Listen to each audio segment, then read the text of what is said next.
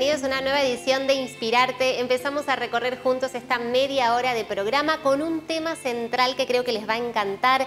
A nosotros nos interesa muchísimo poder hablarles de esto que tiene que ver con Emprender con impacto, emprender de forma sustentable, emprender con impacto social o medioambiental y la posibilidad de empezar a pensar y a generar entre todos una economía regenerativa. Así la llama Margarita, que es nuestra entrevistada central del día, cofundadora de Maima, esta organización que se dedica justamente a formar eh, a, personas para que puedan emprender con impacto y las acompaña en este camino para que lleven sus negocios a la realidad.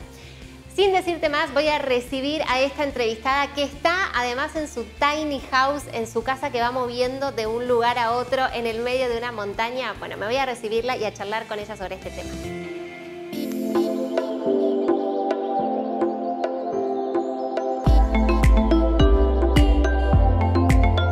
Margarita con nosotros, bienvenida, cofundadora de Maima. ¿Desde dónde estamos hablando, Marga? Bueno, buena. Eh, yo estoy en eh, Umepay, que es una comunidad consciente, intencional, en las sierras de Calamuchita, en Córdoba, y estoy adentro de mi tiny house, mi casita. Las tiny houses son casitas móviles, no tan móviles como una casa rodante, pero sobre ruedas, y bueno, es una micro casa. Y acá vivo. ¿Hace, cuánto que vivís en tu tiny house? Yo, eh, yo soy como nómade, he andado por el Chaco, andado por Santa Cruz y por otros lugares.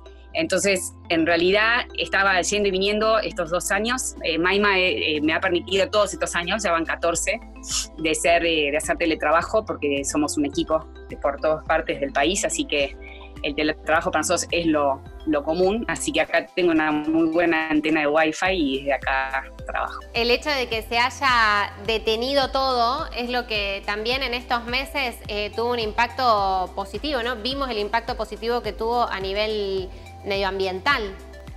Absoluto. En China dicen que ya la, la economía, pero los chinos van aparte, eh, verdaderamente van esa parte, pero en el mundo occidental eh, bajaron las emisiones de, gases de efecto invernadero y podrían bajar. Lamentablemente hay muchas organizaciones que todavía no hicieron ese gran salto de decir, planifiquemos a 10 años 80% de nuestra fuerza laboral teletrabajo.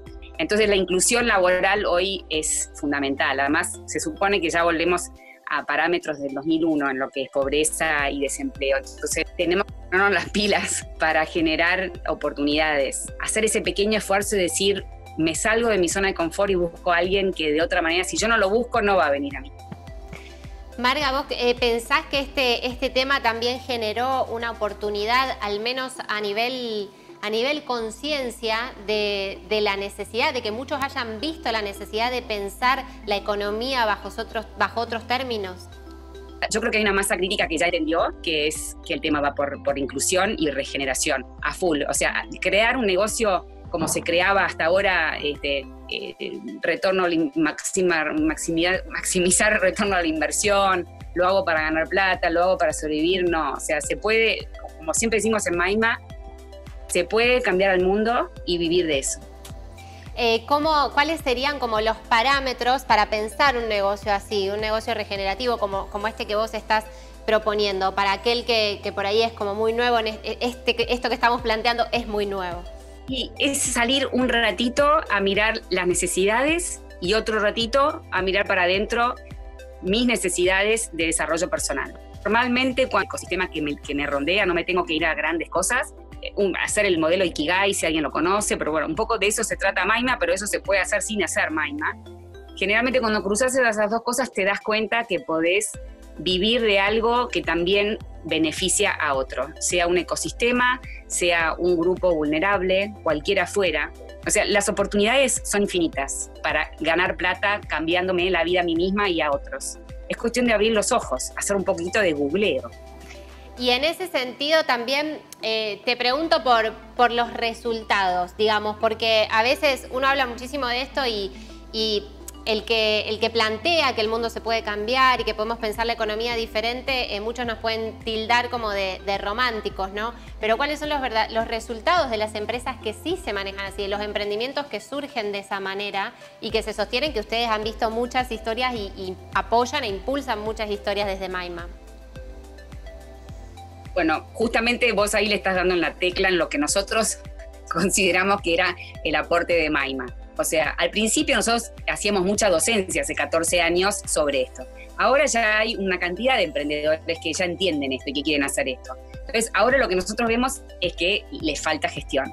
O sea, se quedan en el romanticismo, se, tienen propósitos divinos y les falta gestión y les falta comerse la cancha, les falta esa energía, porque lo hablo muy en astrológico, pero en definitiva es esa energía también de tierra, de concreción, de constancia. Este, tienen mucho, mucho aire, muchas geniales ideas, mucho fuego para avanzar. Entonces ahí entra un poco Maima. Hay lindos proyectos, pero el, todo nuestro sector, y hay una autocrítica con respecto a Maima también, pero básicamente todo el sector de la nueva economía, a nuestro juicio, le está faltando más gestión, más, más pilas, más ventas Tal cual, no, es ponerle, como vos decís, o sea, eh, tierra o estructura o proceso a toda esta tendencia del propósito y, que incluso es más sano para, para todos individualmente, más allá de que el, eh, al, pensar de forma inclusiva e inclusiva, bueno, con las personas, inclusiva con el medio ambiente, sentirnos parte de un sistema y poder cuidarlo, eh, el primer beneficiado es, es uno con eso. Entonces, pero es cierto que le falta eh, a veces, ¿no? En algunos casos, esta, esta estructura o esta tierra para, que, para lograr en realidad que eso empiece a circular más rápidamente y que la economía ya pueda haber cambios en ese sentido. Absolutamente. Es así. Marga, quiero preguntarte para, para cerrar eh, algunas cuestiones que tienen que ver con el, con el triple impacto, que es un poco también de lo que estamos hablando, pero es la línea que, trabajan en, en, Maima. ¿Cómo, hace, ¿Cómo se tiene que pensar hoy un emprendedor que quiere emprender con impacto?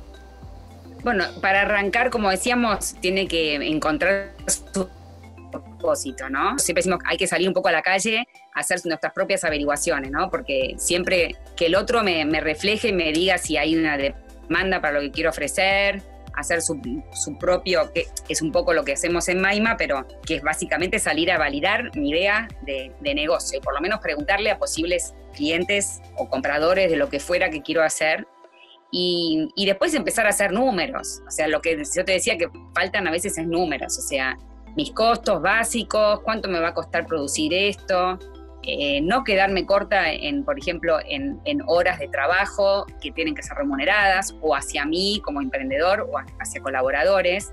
Y los números para nosotros son bastante importantes, los números nos marcan muchas cosas. Hoy en día lo que es el, MVP, el Minimum Viable Product o Producto Mínimo Viable, que es, que es una una estrategia mucho más este, adecuada a los tiempos, que es anda, hacelo, equivocate o no, volvé, regulá, eh, modifica y volvé a hacerlo. Versus antes que era planificar toda en una planilla y no. Hacé tus números básicos, salí, validá y, y, arrancá. Eh, y después nosotros en Maima nos parece muy importante armar equipo. Eh, sospechamos un poco del emprendedor que se manda muy solo. Ya no, no, no, eso, eso sí también es muy viejo. Entonces, también trata de juntar dos o tres personas que resuenen de la manera que sea con tu proyecto y arrancar desde el vamos con otra gente. Por más que después se caigan en el camino, pero solos no. Tal cual, tal cual. Marga, bueno, muchas gracias por esta conexión. Nos encantó conocer tu tiny house y, también eh, conocer un poco todas eh, las formas de pensar y los propósitos que vos tenés dentro, que son los que llevas a Maima y los que tanto necesitamos en este momento y a futuro. Gracias. Un placer, mil gracias a vos, Candela. Un beso grande. Eh. Hasta la próxima. Chau, chau. Chau, chau. Lo que sigue es presentarte a una profesional de la ciudad de Rosario dedicada al marketing digital. Su especialidad, más allá de crear estrategias tiene que ver con enseñar y sobre todo enseñarle a emprendedores a poder incorporar en su emprendimiento este universo del marketing digital que a veces es confuso porque tiene muchísimas herramientas. Es una de las creadoras de Edu Creativa, tiene mucha experiencia en este plano y realmente si no sabes cómo arrancar con el marketing digital en tu negocio, este es el lugar para hacerlo. La conocemos.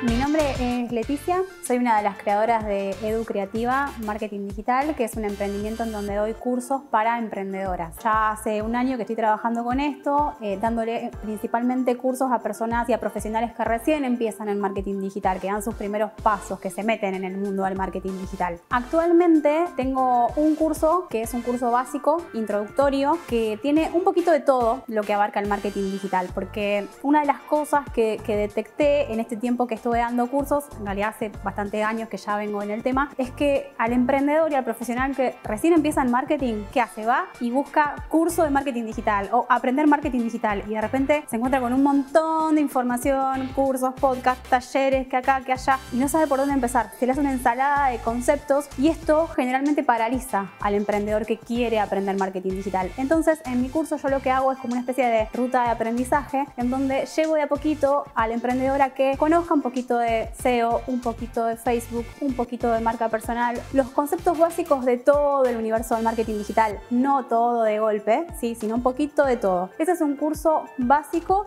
y después, obviamente, la persona, de acuerdo a la instancia en la que se encuentre su emprendimiento, va a ir avanzando hacia lo que considere necesario. El curso es 100% online. Está disponible las 24 horas, los 7 días de la semana, se puede hacer en cualquier momento. Es una plataforma internacional, así que cualquier persona que, que quiera puede sumarse. Y actualmente también estamos lanzando un programa gratuito, que es un programa de 7 días para reprogramar y reenfocar, que lo pueden encontrar en la página www.educreativa.com.ar barra recalculando se llama, porque justamente tiene esta finalidad como si fuese un GPS, ¿no? Orientar un poco al emprendedor que está medio mareado. El emprendedor que haga el curso de marketing básico se va a llevar una, un equipaje, una valija con un montón de conceptos, con un montón de herramientas, que además en el curso hay muchísimas expertas invitadas que desarrollan los distintos temas. Yo lo que insisto mucho es llevar a la práctica, porque nos pasa a todos que consumimos mucha información. Con esto de que hay tanta, tanta, tanta información, consumimos un montón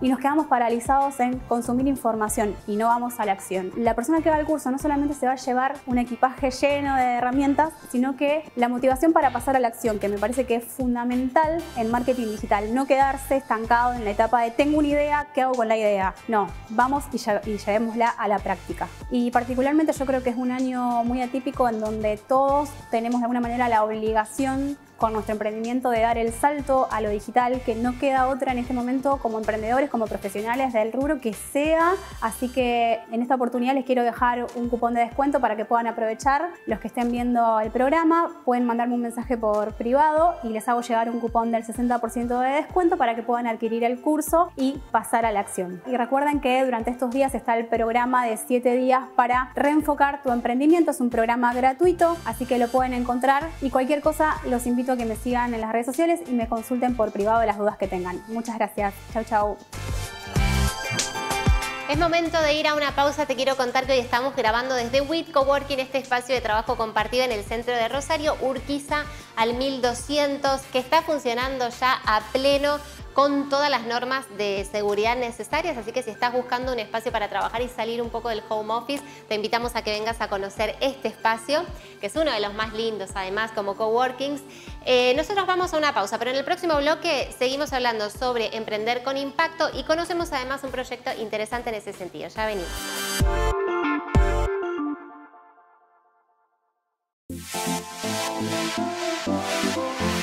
Segundo bloque de Inspirarte y si todavía no lo haces, te invito a que te unas a nuestras comunidades en redes sociales, a que te suscribas a YouTube para no perderte ningún programa y en Instagram como arroba Inspirarte TV nos encontrás y ahí diariamente te estamos acercando información, herramientas, motivación para acompañarte en tu día a día laboral y emprendedor. Lo que sigue es seguir buscando voces, opiniones de referentes en cuanto a la temática central del día que tiene que ver con emprender con impacto y poder empezar eh, a pensar entre todos en una economía diferente.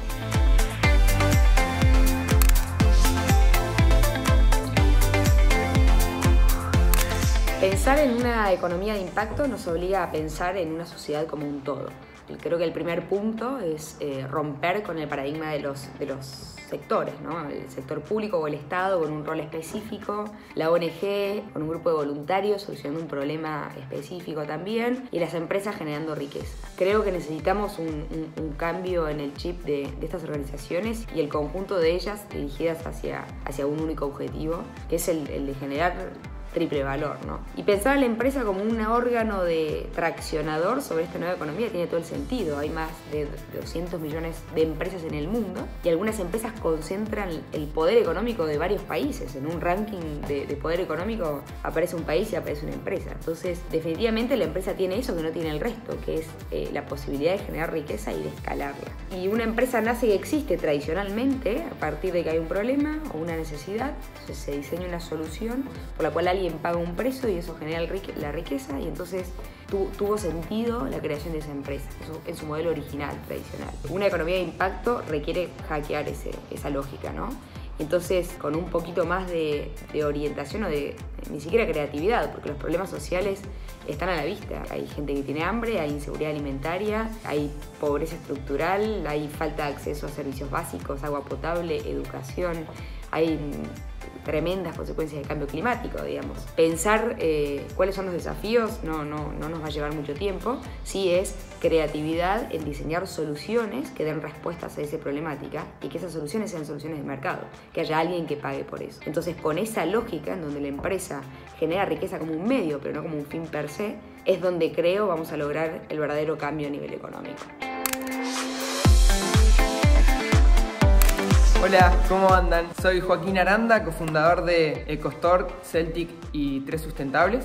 Yo creo que hay tres eh, factores fundamentales para alcanzar una economía, una economía con impacto, una economía que se encargue de utilizar la fuerza del mercado para solucionar una problemática ambiental y una problemática social proponiendo modelos de negocios escalables y sostenibles en el tiempo. Por un lado, pienso en el sector público, los gobiernos, cómo deben incentivar a los emprendimientos y a los proyectos que trabajen para solucionar problemáticas. Por otro lado, las empresas tradicionales, cómo reformulan su modelo de negocio para dejar de operar con la escolástica tradicional y empezar a, trabajar de manera sustentable, repensando su modelo de negocios, transformando también a su entorno, a sus esquemas de trabajo, sus proveedores, sus clientes, y ni hablar de las empresas que nacen como emprendimientos de triple impacto. Y por último, el ciudadano común, generar conciencia, entender que los proyectos de triple impacto, muchas veces los proyectos incipientes tienen eh, dificultades en sus productos,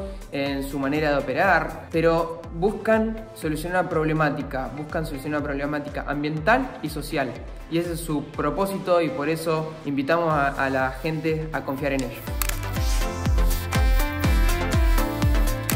Hola a todos y a todas, mi nombre es Ana Clara de la Valle, yo coordino la fundación de la Bolsa de Comercio de Rosario y para mí la forma de lograr una economía de impacto es pensando siempre en el triple impacto, es pensar no solo en el impacto económico, sino en el ambiental, en el social, pensar en diseñar a favor de la comunidad en el largo plazo ante las urgencias, no solo de, de los negocios, sino del mundo, de este mundo que es nuestra casa, que es nuestro espacio común, que es nuestro territorio. Una economía de impacto creo, considero que se logra pensando en modelos regenerativos, en modelos más holísticos, en modelos integrales, donde importa sobre todas las cosas el propósito, el para qué, y donde nosotros como personas estamos plenamente incluidos y comprometidos también de esa forma, alineando nuestro propósito al propósito de esa economía, que es también el propósito de nada más y nada más. Una de las marcas que me está acompañando es una marca que emprende justamente generando impacto. Se trata de Brennan, la marca que lidera Carla. Este vestido, por ejemplo, el que estoy usando hoy es de Brennan y tiene una filosofía que es de impacto positivo, sobre todo con el medio ambiente. Carla es ecologista, hace años tiene una cabeza súper sustentable y esto lo llevó a su emprendimiento. Pasó también en su momento por la formación de Maima y hoy te lo traemos como ejemplo de cómo se puede emprender con impacto. Hola, ¿qué tal? Mi nombre es Carla, tengo 33 años, soy la diseñadora de la marca. Brennan es una marca que está en proceso de sustentabilidad, hoy en día reforzando sobre todo los factores socioambientales. La campaña de esta temporada es sobre la protección de bosques nativos. Nos juntamos con Banco de Bosques y por cada prenda vendida se salvan 10 metros cuadrados de bosque nativo misionero Curvas de Uruguay. Esto surgió mm, a partir de una inquietud personal, yo soy ecologista desde muy temprana edad. Mi necesidad básicamente era traspasar lo que era mi forma de vida personal a la marca. Empezó a pasar de que cuando yo empecé a mostrar cómo, cómo uno era puertas para adentro, la gente empezó a gustar y lo empecé a, a expresar un poco más y además porque creo que hay una necesidad de de hoy en día de que el mundo tenga un poco más marcas más humanas y más conscientes del medio que los rodea. Son todas prendas bastante trabajadas, con muy linda moldería, muy lindo calza y muy lindas telas, porque la idea es que no sean prendas de tendencia, que pasa la temporada y las dejes de usar, sino que sean caballitos de batalla para el placar, que, es la idea de la, de la temporalidad, que eso también apunta a la sustentabilidad. Y si tengo cinco talleres que cosen, dos chicos que me ayudan a cortar, eh, bordador, estampador. Hoy tengo tres modelistas. Eh, hoy en día Brennan es una marca sustentable, de moda sustentable, de moda de shopping, de moda urbana, que es lo que yo aspiraba a lograr. La idea es que la marca pueda aportar algo al mundo y pueda solucionar problemas más allá del producto que vende porque bueno, las cabezas de la marca son así. No se trata solamente de un producto, sino de, toda una comunicación y toda una filosofía de vida que, se traspasa. La que viene a comprar la marca no solamente viene a comprar una ropa, sino que sabe que al taller se le pagó bien, sabe que hace un aporte a los bosques, sabe la filosofía que yo tengo, que eso de a poco lo, empecé a contar, sabe un montón de cosas, entonces busca algo más que, un vestido que lo puede conseguir en, un montón de lados. Showroom se encuentra en Rioja al 1000, eh, Rioja 1068, timbre 2. Antes de la pandemia teníamos horarios, ahora para que no se me junten varias chicas que vengan juntas a retirar o a medirse, les pido si me pueden mandar mensajes por redes sociales o por WhatsApp. La tienda online la estamos renovando esta semana, así que puede ser que esté caída, pero porque estamos renovando y ahí sí van a poder leer un poco más de sustentabilidad, de todo lo que estamos trabajando. Así que bueno, los invito a que vengan a Brennan y que nosotros nosotros de lo que buscamos como, como consumidor de la marca es alguien que más allá del producto, que nuestras prendas son lindas y sé que gustan, sea alguien responsable y sobre todo que más allá del precio, que no tenemos un precio elevado, sepan que cuando uno compra una prenda más barata, generalmente lo paga la sociedad o el medio ambiente. Es momento de despedirnos. Antes, como siempre, algunos agradecimientos a Yami Cuadra Aguilar por el make-up. Me peinó Gonzalo Goldberg, como siempre. El estilismo me lo hizo Male Rinaudo, asesora de imagen. El vestido, ya te lo dije, es de Brennan. También agradecerle a WIT Coworking por recibirnos en este espacio para poder grabar y a María Clara Tesey, que es nuestra fotógrafa oficial. Gracias también a vos por estar ahí todos los miércoles del otro lado de la pantalla y a través de las redes sociales. Esperamos estar haciendo este año un programa que te sirva muchísimo para repensarte en este año tan desafiante como es el 2020. Te vuelvo a encontrar próximo miércoles medianoche por esta pantalla. Chau.